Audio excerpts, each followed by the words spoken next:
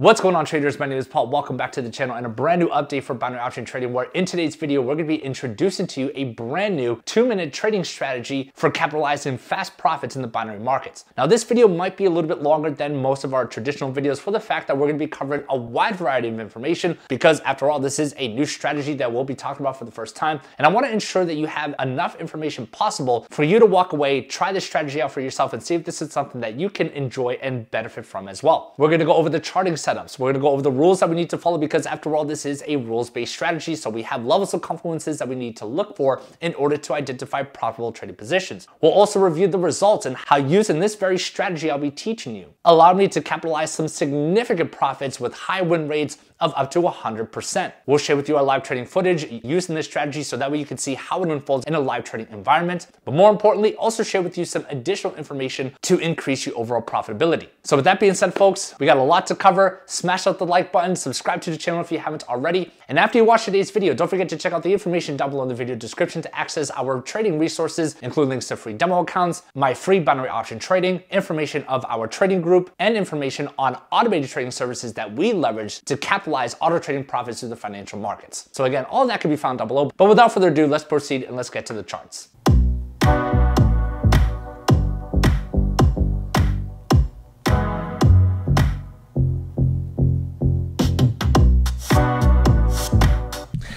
All right, treasures, let's get started with today's video. And I do just want to give a quick shout out and give credit to where credit is due to the individuals who have brought this strategy to my attention over the past couple of months. And also credit to individuals on YouTube, such as BLW, who have also covered this strategy on their channel. It's a lot of fun covering different strategies and backtesting different combinations to see what works and what doesn't. And with this strategy that we are going to be covering today, the results have been so far pretty impressive. So being that this is a new strategy, we're going to go over a lot of details in today's video. So if you do have any questions, questions or need help, drop a comment down below. But you can also email me directly, which is always best, as I do check my emails on a daily basis. Now, being that this is also a new strategy, I'm sure that for many of you are going to want to try this out. So remember, folks, that when it comes to any types of new trading strategies or methods that you want to implement to your trading, always back test on a demo account first. That way, if you're making mistakes while you're going through the learning process, you're not making those mistakes on your live account. As you know, I like to use Quotex for my binary option trading, but this can be used on a wide variety of different platforms. But if you're looking for a new broker to diversify your binary trading or just want to use Quotex for their free demo accounts, I'll leave the link down below in the video description because you can access their demo accounts anytime that you want, regardless if you have an account with them or not.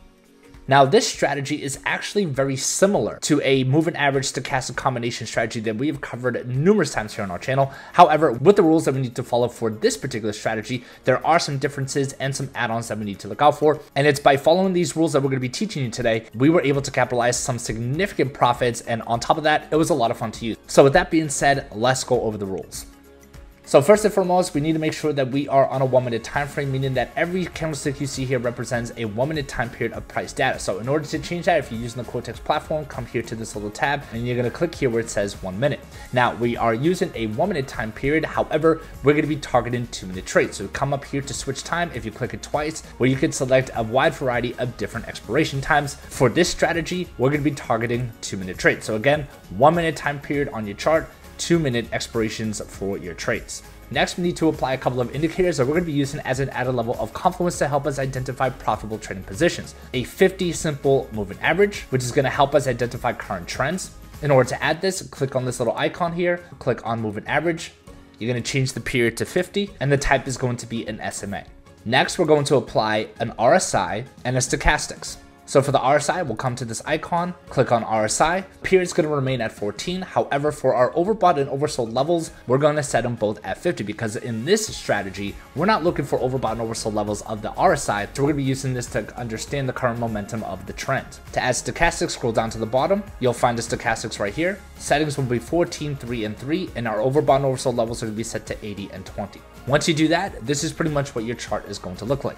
So the rules that we need to apply are as follows. First and foremost, we want to understand what type of trend we are in. Are we in a buyer's market or seller's market? If price is above our 50 moving average, we are in a buyer's market. So in this case, we're only looking for buy trades. Once we understand the trend, we want to look for crossover and upward momentums of our stochastics, which we can see here, here, here, and here. Now, before we enter the trade, we want to look at the position of the RSI. And because we're looking for buy trading positions, we want to make sure that the RSI is above the 50 line, which is the median level right here. Once you have these confirmations, enter for two minute buy trades. And as you can see, these would have been profitable buy trading scenarios. So I want you guys to understand, folks, that when we're using the RSI and the stochastics, we're not using them in the manner of the traditional overbought and oversold. With stochastics, we are looking for these crossovers to identify potential pivot points in the markets to enter trades. And with the RSI, because we're only using a 50 level, we're using the RSI in the manner to distinguish the momentum and trend. When the RSI is below the 50 level, this is usually a decrease in momentum towards the downside. But when the RSI is above the 50 level, this signifies momentum and strength toward the upside. So that is why in this scenario, for a buy trade, we want to ensure that the RSI is above our 50 level. However, if we're in a downtrend, if price is below our 50 moving average, this is a seller's market, so we're only looking for sell trades. So when we're looking at our stochastics, we want to cross over to the downside, which we have here and here. Now, later on in this video, I'm going to explain why we're not counting these points here. I'll explain more about this in detail towards the end of this video when I explain the best ways to use this strategy. But once we have our crossovers that we need, we'll look at the RSI and make sure that the line is below the 50, which it is. And as you can see, these would have been profitable sell trading positions. So I know that we just went over a lot of information in terms of the rules of this strategy, so I want to give you a couple of examples of how this unfolds in a live trading environment. If we look here at the GBP USD, where in this case we took a buy position, from our stochastics we have the crossover and upward momentum, and we can see that the RSI is above R50. Now granted, we do have other levels of confluences, which we will cover later on in today's video, but just in terms of the rules alone, we can see that we have those levels of confluences and we're placing trades according to the trend, and because of that, we entered at a profitable position. Now for a sell trading position, we can see in this example, for the Euro USD, we took a sell trading position for the fact that price was below our SMA, the RSI line was below the 50, we also had the stochastic confirmation of the crossover and downward momentum. Now the ironic part of this trade is the fact that we lost this trade just by a second. If we were in this position just a second or two longer, this would have been a winning trade. However, I still consider this a good trade, even though our position should have been a little bit higher and we should have waited just a couple seconds longer before we entered the trade. Our analysis was on point and we had the required confluences needed in order to enter this sell trade position. So even though the trade itself didn't win, our analysis was correct. So our first session, which we kind of gave you a little bit of a teaser in our last video, we had five winning trades out of six giving us an 83% win rate and a $1,700 profit return and an increase of 3.5% to our account. This was our first attempt in using this strategy in a live trading environment and it was a great turnout to say nonetheless. Even though that trade for the Euro USD should have been a winning trade given the fact that our analysis was on point, the fact that we still walked away with 5 out of 6 winning trades, needless to say, I was very pleased. Then a couple of days ago on the 14th of February, we attempted to apply this strategy in live markets once again, and as you can see folks, the results were much better. Four out of four winning trades, no losses, 100% win rate, over $1,900 in profit return, and a 3.85% increase to our account. Now, just between these two sessions alone, we're looking at a 90% win rate with only one losing trade out of a total of 10, giving us a total profit return of over $3,600 and a 7.35% increase to our total account. Now, ladies and gentlemen, I do just want to clarify the reason why I'm going over the percentages in terms of the increase of the account is because this is in regards to our risk management. It's something we've covered before in previous videos, and I cannot stress enough the importance of having a proper risk management plan. A lot of times people will look at these trades and say, well, if you had four profitable winning trades, why don't you just continue to place more trades? And granted, while I could have placed another trade or two, and maybe those would have been more profitable trades and would have made more money, the next trade could have been a losing trade. And then that losing trade would have damaged my profits. When it comes to trading binary and Forex, it's not a question of how many trades you can place in a day or in a session. The most important thing you want to focus on is having a target goal for your profit, but also having a limit to how much losses you want to sustain in any given day. If you're only willing to lose 2 to 3% of your account, whatever you reach first, your target daily goal for profits or daily limit of loss, stop trading for the day. That's why I stopped trading once I had that losing trade for the Euro USD, and that's why I also stopped trading once we gained a fourth consecutive win. Hope that helps, folks. If you have any questions on that, let me know. But now what I'm to do is share with you our live trading footage of our perfect winning session using this strategy, and then we're going to return and explain how you can use this strategy the best way possible and pinpoint more accurate trades. So let's take a look.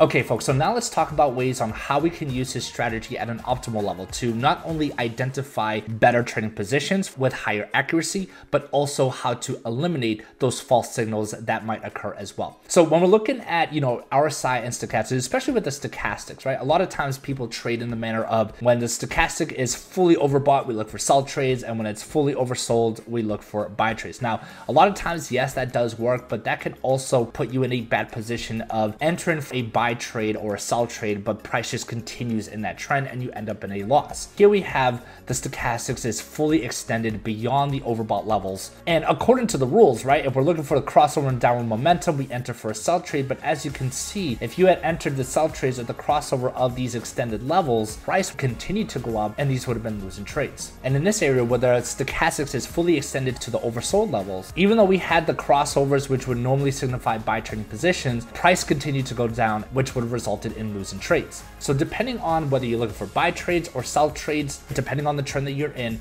you want to look for those crossovers where the stochastics are in between the regions of the 80 and 20, not beyond it, but in between them. All right. So in this case, here we have a bit of a downtrend. We had a crossover that wasn't fully extended, right? It wasn't fully extended to the overbought levels. This crossover occurred within these two barriers, and this would have been a profitable trade. We also see buy signals here between the crossover and upper momentum of the stochastics. These crossovers occurred within the 80 and 20 barriers. We also have the confluence of our RSI. So these two areas here would have been profitable buy trading positions. So again, folks, it is ideal with this strategy to target crossovers of the stochastics that occur within the barriers of the 80 and 20 levels. Yes, you can target trading positions if they are extended to the 80 to the overbought and oversold levels, but you also want to combine that with other levels of confluences, which is what we're going to get into right now.